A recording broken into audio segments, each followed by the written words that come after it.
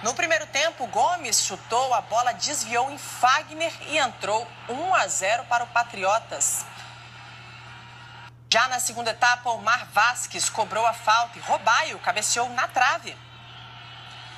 Até que nos acréscimos, o zagueiro Balbuena foi para a área e garantiu o um empate no apagar das luzes, 1 a 1 praticamente o último lance da partida. O jogo de volta será na Arena Corinthians no dia 26 de julho.